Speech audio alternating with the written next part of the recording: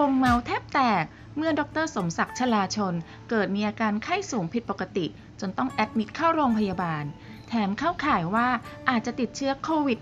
-19 ซึ่งก็ไม่รู้ว่าไปรับเชื้อมาจากที่ไหนหรือเปล่า เพราะมีอาการไข้นั้นช่างคล้ายกับอาการเบื้องต้นของผู้ป่วยโควิด -19 ซะเหลือเกิน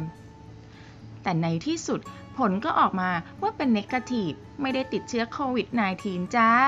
คราวนี้หลายกลุ่มเพื่อนก็เลยเด้งมาแสดงความยินดีกันแบบรัวๆ ซึ่งท้ายที่สุดคุณพี่สมศักดิ์ฝากบอกว่า เรื่องเนี้ยสอนให้รู้ว่า ตนเป็นที่พึ่งแห่งตนช่วงยุคโควิด ไม่ต้องไปยุ่งเรื่องกับชาวบ้านนะจ๊ะ หมั่นดูแลสุขภาพตัวเองล้างมือบ่อยๆ ใส่แมสตลอดเวลาที่สำคัญ หยุดอยู่บ้านเพื่อช่วยชาติกันนะจ๊ะ ชาวเซเลบออนไลน์ก็ขอให้พี่สมศักดิ์หายป่วยสุขภาพแข็งแรงไวๆนะคะ เป็นห่วงนะคะ จุ๊บๆ